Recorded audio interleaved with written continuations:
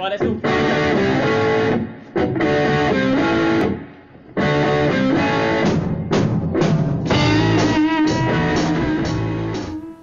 Hi guys, welcome to today's lesson on how to play the intro solo from Whiskey in the Jar. I was going to do all of these videos with the intro solo and the verse and the chorus all as one video and I put it together and it was over 45 minutes long so uh, it's now just going to be a very short video so this is literally just a lesson on how to play the intro solo. Um, below in uh, link in the description I will put a link to the other videos that I've done on this song as I'm going to mention probably in all these videos, I've got, you know, the, the tone is the middle pickup on a, on a Strat, and you want to have a little bit of distortion on your amp, and then it's got a, a Leslie kind of cabinet speaker thing, um, is the tone that you're aiming for. So um, I was using um, a mixture of a bit of phaser and a bit of wah to get that tone. And so yeah, next is be the lesson thing. Okay, intro solo. So unlike the rest of this song, it's in A minor. I don't know why, but it is. Um, the whole rest of the song's in E minor or G major, whichever you prefer, but this is in A minor.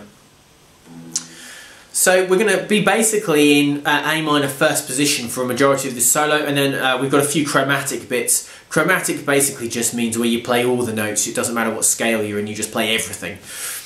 Um, so we've got a few of those, but predominantly A natural minor, or if you prefer the modal name, A Aeolian. So let's crack on. 8th fret on the E string. Okay, I'm going to play that. I actually play that with my middle finger. You can do it with your pinky, it doesn't really matter. Then I'm going to re-pick it again. Then I'm to re-pick it again and pull off to 7.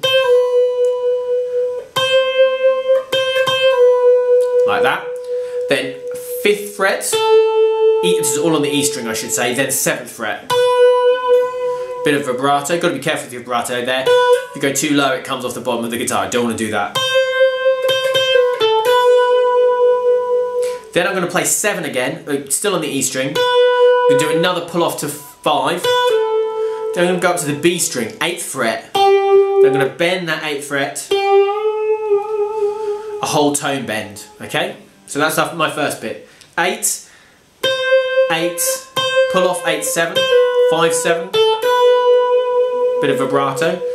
7, pull off 7, 5. 8, on the B string, bend 8, up a tone. Bit of vibrato.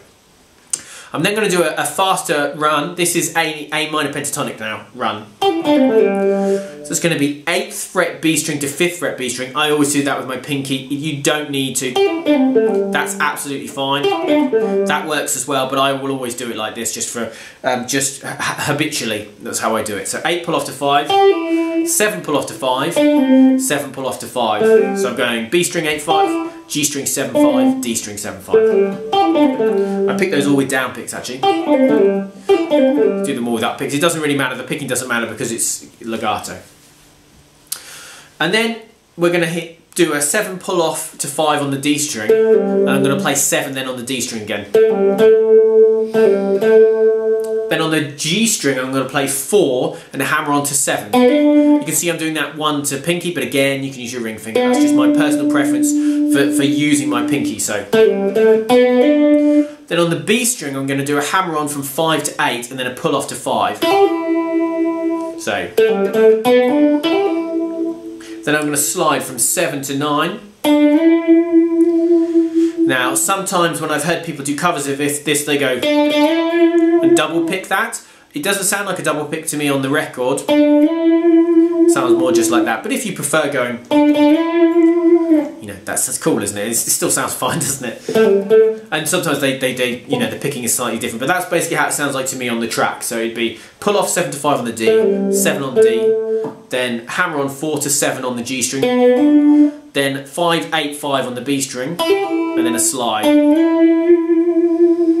Then we've got the chromatic bit. It's going to start on this note, this is a D note, and I'm going to slide into it from the 6th fret, I'm going to play 7, 6, 5, 4 on that string. Now you can go pinky, that works. That's how I often do it though. Then I'm going to do go 7 on the D, 6 on the D, 5 on the D, 7 on the A, 6 on the A, 5 on the A. Then we're going to go up to 8 on the E, 7 on the E, 6 on the E, and then 5. So you end up with. And that's the end of the intro solo. So that's basically how it goes. Let me just do it super slowly for you and then we'll move on to the next section.